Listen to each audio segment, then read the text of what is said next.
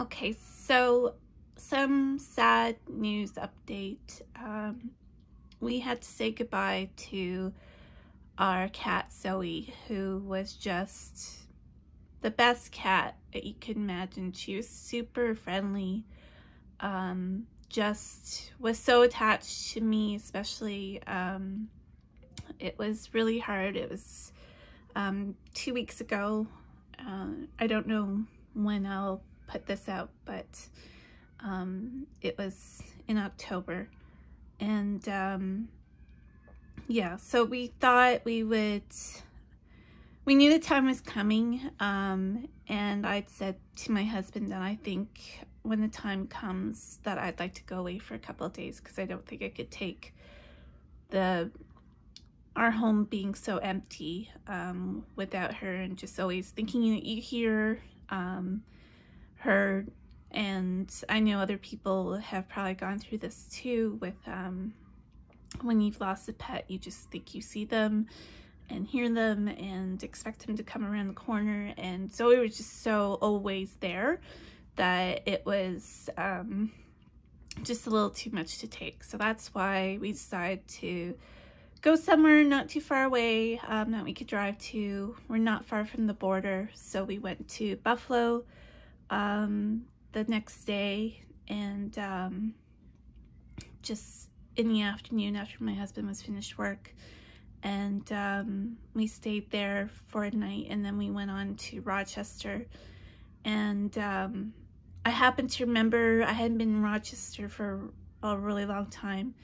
Um, the most recent was when we went to the Finger Lakes, which is a really beautiful area of um, of New York State. Um, so anyways, that was the one place that I could think to go to, to look forward to, um, to have something just to take my mind off things and um, it was great. I happened to look um, I think I tripped across when I was looking for um, pastels. I've um, found this company, this French company that I'll get to, um, that uh, they're not sold in Canada as far as I know.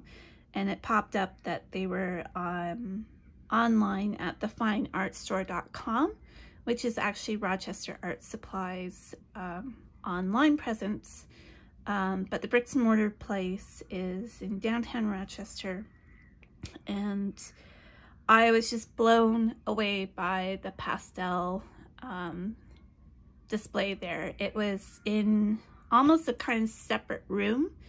And it was all these um, cabinets with drawer after drawer full of pastels and all different brands that I hadn't seen or used before. Um, some of the big names like Sennelier and um, Unison and uh, Schmincke, um, they were all there, but then they had a lot that are very um, specialized kind of um, handmade ones that you don't see in too many places. So let's get down to what I got while I was there and I'm gonna put it on. This isn't really uh, pastel paper, but it's a nice neutral gray paper by um, Clairefontaine, mixed media paper. And um, let's start with maybe, maybe I'll have to put a couple of them on a white paper just because you won't see let's start with this big guy. So this is um, Art Spectrum, and it's um, an Australian company, and this is the warm gray, and it's really chunky block. I thought that would be nice to put down as a background color in some places. It's really nice, soft color warm, as it suggests, a warm gray.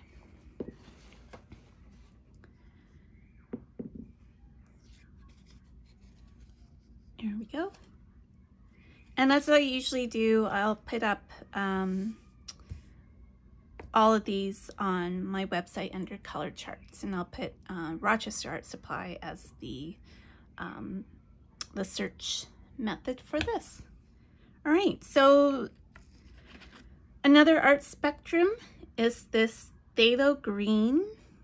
It's a really, really, if it is indeed green, seems like the wrong, I thought it was a, uh, an off-white. Um, it's extra soft pastel. And yep, it's made in Brunswick, Australia.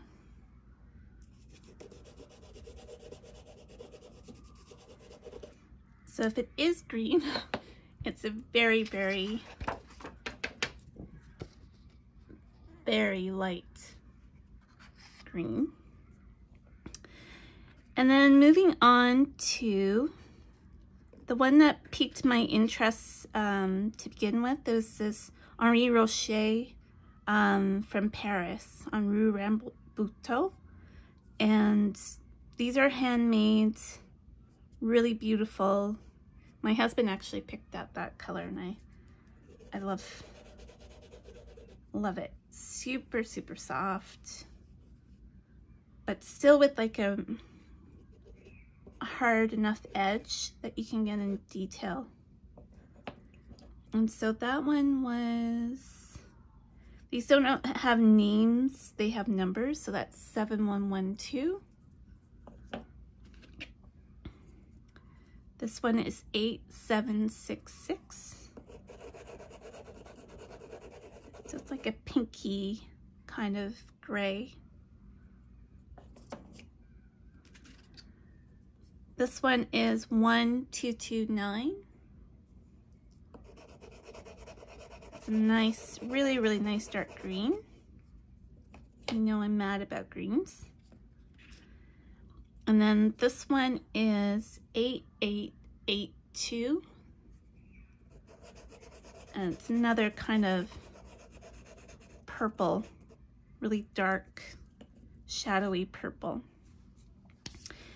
And sticking with the French, this is, I think these are Girault. Yeah.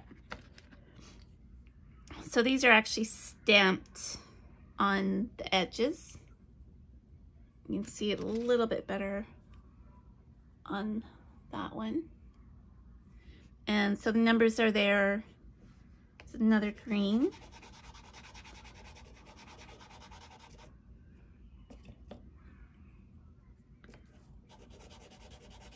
Nice sort of olive green kind of um, vintagey pink, just so you can see that a little bit better on white.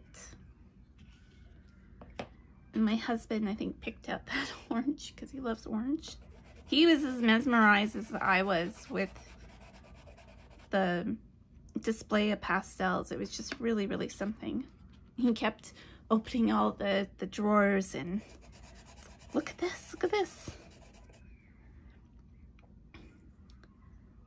I'll list the numbers below just in case you can access them.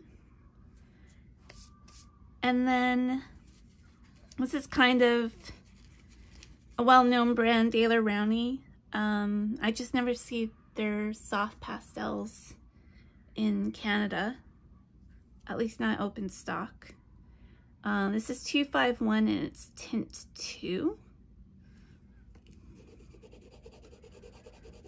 It's another gray. Just a little difficult to see on the the gray paper.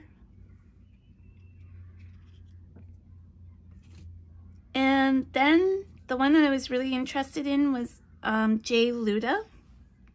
They're a relatively newish, about 10 years um, of selling uh, their pastels. Uh, they're made in Italy, handmade in Italy. I've been talking to them um, through Instagram to see if um, there's going to be a presence for them in Canada because these are really, really beautiful. And I love, I love the the square format for especially for doing large swaths of color. This one is 1P. And I came across those because for the um, Urban Sketchers Symposium, they were a sponsor. And um, for one of the workshops, they had a little um, package of different pastels for that workshop. And if I'd known, I would have taken that workshop. Um, so this one is 10D. And I should have got more of those. You know, they're not cheap. I was trying not to spend stuff with work being kind of precarious at the moment. Um, but, you know, I don't go to Rochester every day, that's for sure. Um, and I kind of needed something to cheer myself up. So I've had these before. Um, Diane Townsend usually, or the ones that I got were the regular rolled, um, hand rolled um, uh, pastels. But this one are her Terrage um, format. So it's like kind of almost like a little pebble. And I just thought it was a nice size to try. This is 156. Again, the green. And I just thought that'd be nice to try. I have managed to get Diane Townsend ones through Jackson's. Um, I'm not sure that they sell the these pebble-like ones or not. And then I happened to see um, Caran d'Ache. They had, you know, good display of pastel pencils as well. And I have um, some by uh, Stabilo, the Carbothello ones. And then I have some of the um, uh, Faber-Castell pastel pencils too, but I don't have any of the uh, Caran d'Ache ones. And they kind of have a little bit, let's see, a little bit thicker core than the the Pitt Pastel pencils probably about the same as the Carbothello ones.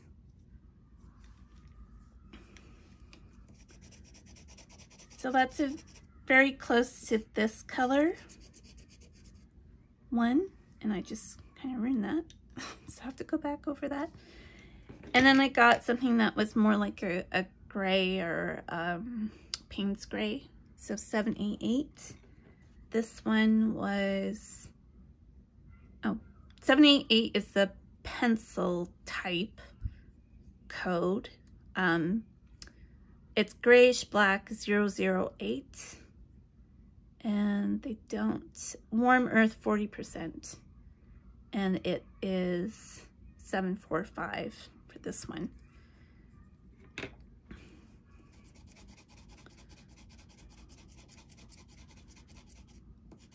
So it's very like a Payne's gray. So that's mostly it. I also picked up, um, you have seen these pencils before. I got them at um, Hyatt's in Buffalo. We didn't go there this time because, you know, spent enough at um, Rochester Art Supply. Uh, these are the Kohinoor tritone, so they have three different colors. And I really like them for uh, urban sketching because it has a really nice, gives a really nice sense of texture. I, I thought at first they were a little bit gimmicky, you know, for children, but I really, really like um, the way they come out. Maybe move this aside.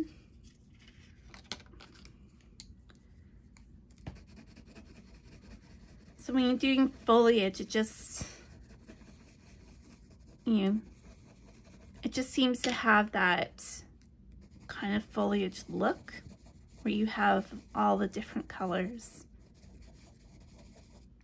So I got another two of these for a friend of mine who loved um, mine and you can't get them here. And I picked up this one for myself. This is Volcano. They don't have a number. Maybe they do. 352. That might be their number. So this is Rainforest. Um, and this one's Meadow. And then Volcano is the, it looks like, kind of looks like um, fire or lava. Um, but I'll probably use that for doing textures for brick when I'm urban sketching. So that is that. Um, yep, so we, um, we now have Sadie in our lives. Um, she's a five-year-old rescue that we got um, from Toronto Cat Rescue, and she's originally from Quebec.